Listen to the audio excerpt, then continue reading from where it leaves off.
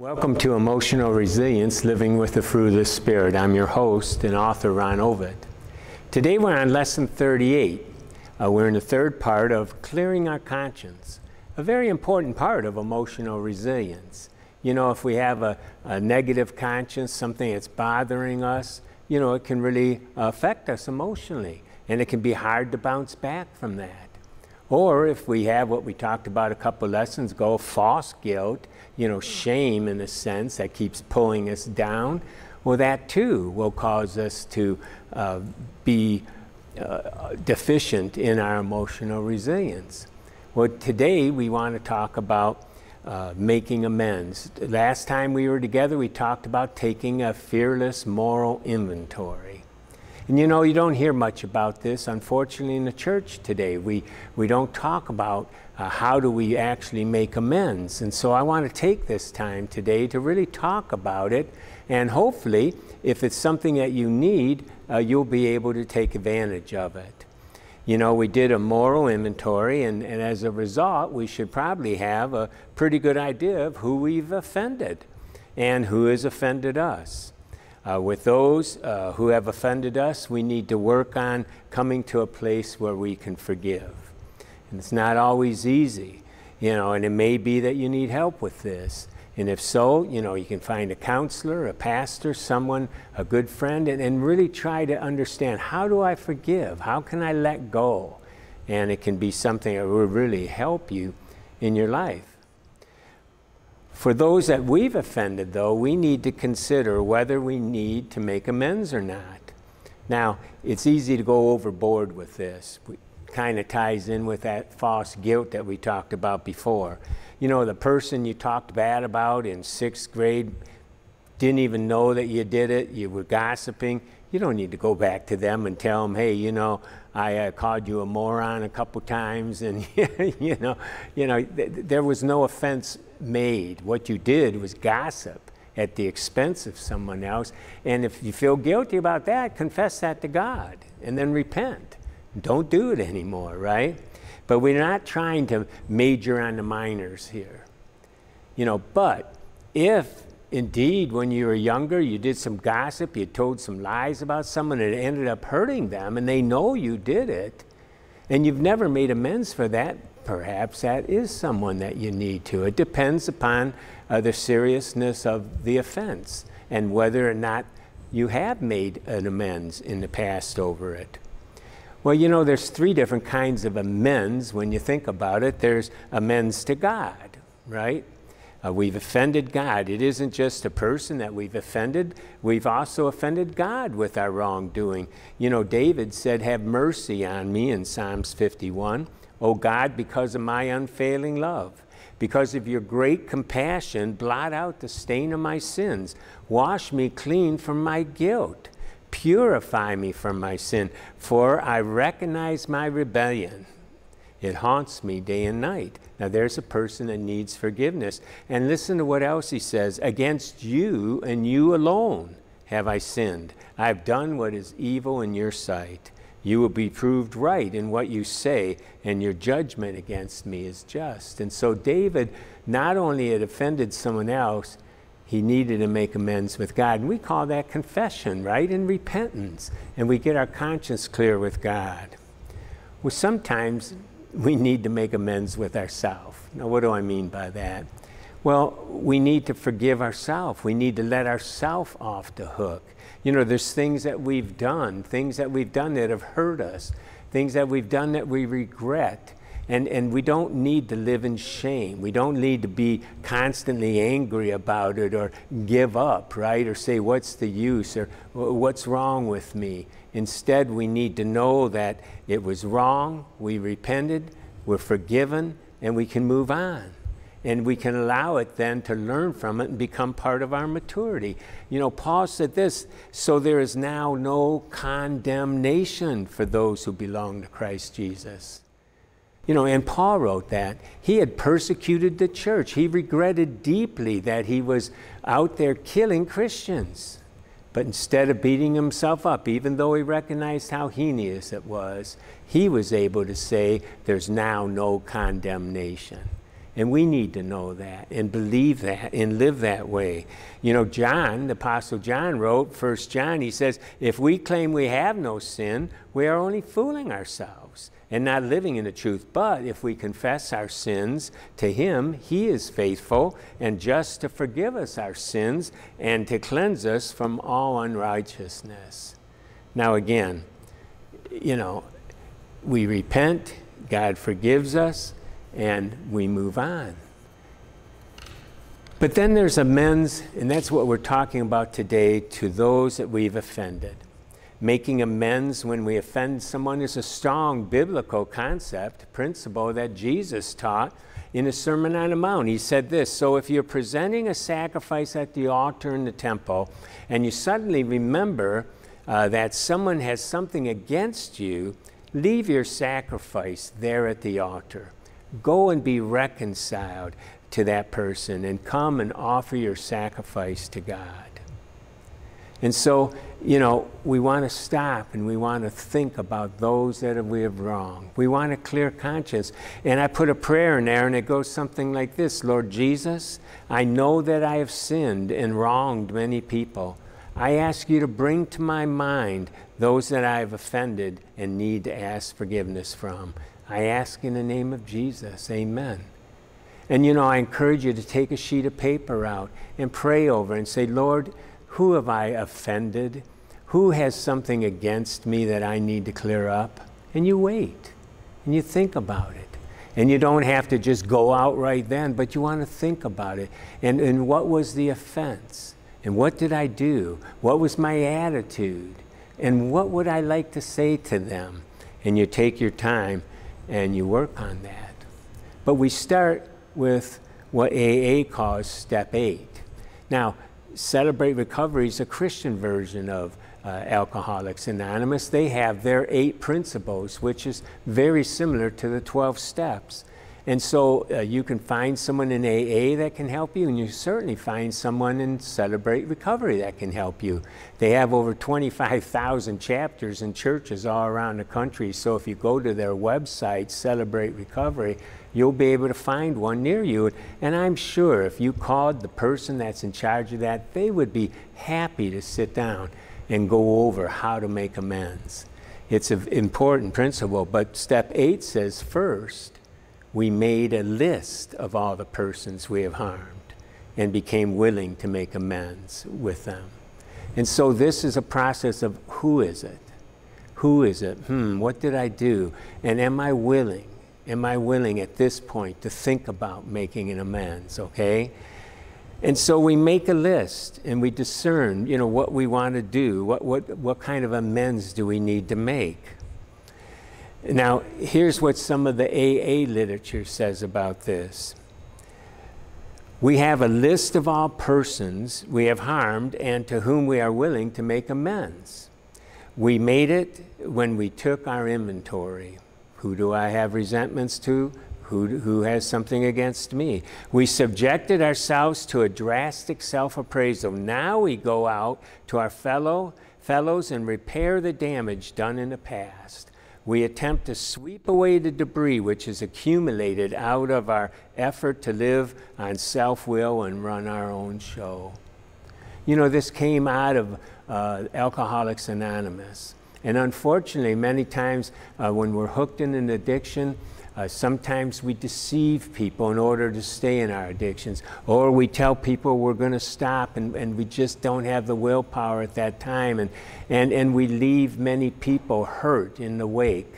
And, and so a person that's going through uh, recovery needs to do this, where they can clear that conscience. It's a do over card. But you say, Ron, I don't have any addiction. I haven't done that. I understand. But still, you know, we're not trying to make up people, you know, that we need to make amends to, but there might be someone that you're bitter toward or that's bitter toward you. And the same principles that they talk about apply to us in trying to make amends. Another person wrote, step eight is a social house cleaning, and I like that term. Just as step four was our personal house cleaning. In step eight, we're setting out to clean up all the bruised relationships and, and the pockets of guilt, pain, fear, resentment, and sadness that are stored inside, stuck to our shameful past deeds. For this undealt uh, with this material uh, blocks us from loving other people, ourselves, and God in the present. And then the, he wrote, It is as if God were saying, Now I want you to face what you have done and own your part in hurting each person in your life so that you can move into the future I have for you, unencumbered by the past, and beginning to understand how not to keep repeating the mistakes of the past. Isn't that exciting? Isn't that freeing for us that we can clear this up where we can move on? Another person said the eighth step is not easy. It demands a new kind of honesty about our relationships with other people. The eighth step starts the procedure of forgiving others and possibly being forgiven by them, forgiving ourselves and learning how to live in the world. By the time we reach this step, we have become ready to understand rather than to be understood. We can live and let live easier when we know the areas in which we owe amends have been taken care of. It seems hard now, but once we have done it, we will wonder why it took us so long. And then someone wrote this, and I think it's a, it's a good point. The final difficulty in working the eighth step is separating it from the ninth step, which we'll talk about in a minute here. Projecting about actually making amends can be a major obstacle both in making the list and in becoming willing. We do step eight, making the list, as if there were no ninth step. We do not think about making the amends, but just concentrate on exactly what the eighth step says, which is to make a list and to become willing. The main thing in this step does for us is to help build an awareness that little by little we are gaining new attitudes about ourselves and how we deal with other people. So let's look at the ninth step then. The ninth step says make direct amends to such people wherever possible, except when to do, do so would injure them or others. And so now that we have the list, right, and we've become willing, we've prayed over it, then we want to prepare, you know, what we're going to do, you know, what we're going to say ahead of time. Now, don't try to make amends off the cuff here. Too many things can go wrong. Amends should be made after a time of reflection and preparation. You know, what was your part in it? What were your offensive actions? What was the overarching uh, offensive attitude? I remember I was young. I was only 18 when I did my first amends. And I remember I, my conscience was bothering me with my mother. And I knew I needed to go make amends with her. Now, I could have listed all the things I've done wrong, uh, but I'm sure I would have missed some. And instead, I looked at the attitude. And the things I've done was resulting from an attitude of ungratefulness, of selfishness, of unappreciation. And when I went to my mother to make amends, I asked her, I have come to realize how wrong I am in my attitude of, of you know, unappreciation, uh, taking you for granted, in the lack of doing what I should be doing and taking my part. And I, you know, I said an amends and I expressed the attitude of ungratefulness and selfishness. And, and then I said, Would you forgive me? Now, in that moment, my, my mother was able to think, and maybe there were some things sticking out in her head. Maybe she thought of the time when, you know, I said, I, am not going to clean up my room, or, or, you know, I'm not going to do that. I'll come home when I want to. You know, she, she may have thought of those kind of things. But because I named the right kind of attitudes, she was able to put that all in that umbrella of that attitude and saw that I was repentive and knew in her heart that if I truly repented of those attitudes, that kind of thing wouldn't happen again. And so I was able to make an amends. Now, had I named just a few things, that would have been okay, But she could think of other things. And would it have really changed my attitude? Would she really trust that I've changed? So it's really important to get to that attitude behind it. Take out a sheet of paper, write down what you want to say. You know, uh, and, and you go there with it in your hand if you have to. You don't leave this to chance. Too many things can go wrong. So you want to be prepared to take responsibility for what you said or did, and certainly for the attitude that was behind it. And you know, you start off with, you know, I'm sorry that I hurt you. I'm sorry that I offended you. I'm sorry for my attitude of. Now, if you've hurt the person multiple times, then certainly the attitude is the real important thing here that you want to repent from. And I've come to realize that I was wrong in my attitude of, and I don't want to be that way anymore. That would be a tremendous way to really express your sincerity and so, you know, forgive me for my attitude of ungratefulness or disrespecting you or taking you for granted. And you need to be prepared now for reactions. They may come back and be uh, uh upset, and they may be bitter, and they may not want to hear it right then. And so you stick to the script. They may say, Yeah, well, you know, it's been pretty rough, and you can go, I understand. I've come to say how sorry I am for my attitude, and you repeat it. You don't go off script. You don't defend yourself. You don't go, What are you talking about? That was your fault. You've come to say what you wanted to say. I came by to make amends, and I'm sorry for my attitude. And, and if it keeps escalating, then you simply say, and you can write this out too, because you need to have it in front of you well, I came by to make amends, but I can see it's not a good time. You know, I, and, uh, you know, I'd be happy to come back and perhaps we could do it at another time. And they may totally reject it, and that's okay. At least your attitude was there, it was correct. You tell them why you came, and perhaps you're leaving the door open. We can try this at another time.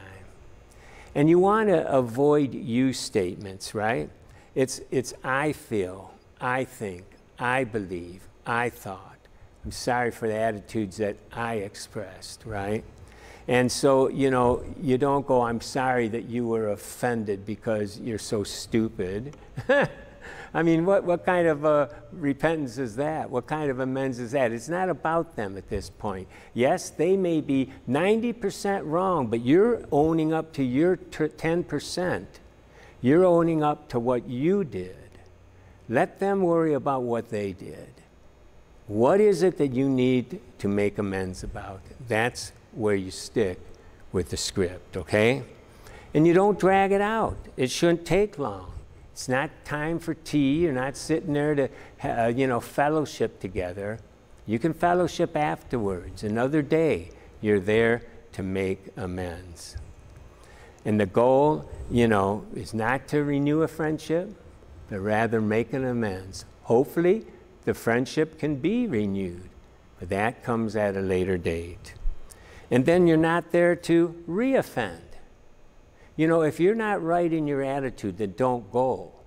What you don't want to do is go there with body language that says, you know, I hate you, I can't stand you, I don't know why I'm here, you're such a, a moron, you know. I mean, that stuff shows. You've got to get over your bitterness first. You've got to be able to forgive, but then you're going to make amends for what you did wrong. And you have to understand that they may be mad. And you're making amends maybe too early for them, or they may uh, have real bitterness and, and not appreciate it right then, and you don't need to react in anger.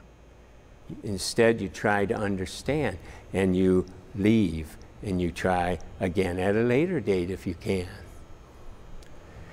Here again, I encourage you to find someone to celebrate recovery or Alcoholics Anonymous and talk to your pastor. Maybe he has experience with this.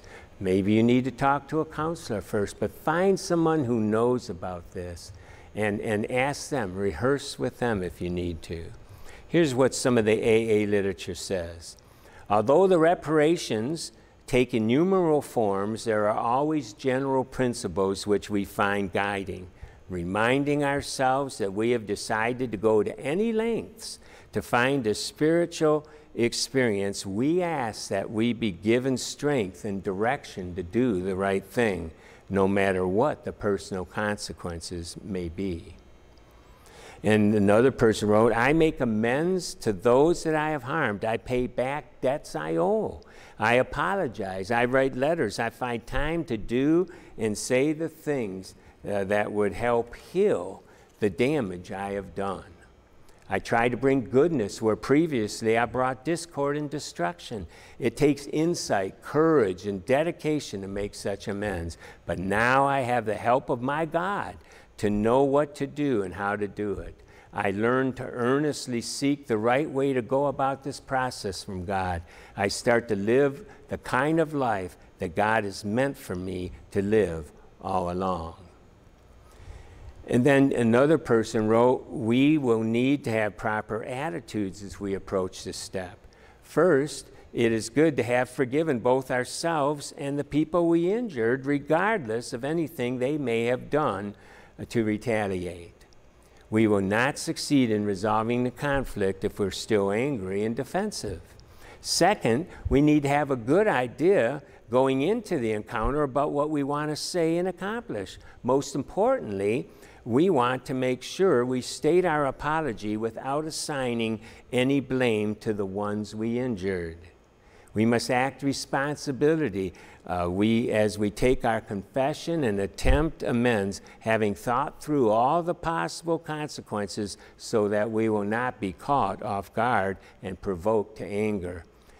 A rehearsal with a sponsor, therapist, or friend may help prepare us. Another person wrote, We need to be open to any response we get from people we've injured and be ready to accept their response without being angry. We're not there to manipulate them into forgiving us. In order to have this come off smoothly, we should make every effort to purge our bad feelings toward the person or incident before we meet to speak. This will help us resist the temptation to point out to them what, what we felt they did to provoke us. We are only there to talk about our own behavior. And then another person wrote, It's not a good idea to take the other person by surprise. They have a right to know that you intend to make amends. They have a right to refuse to let you do it at this time. You can leave an open invitation to talk whenever and wherever they might feel comfortable at some time in the future.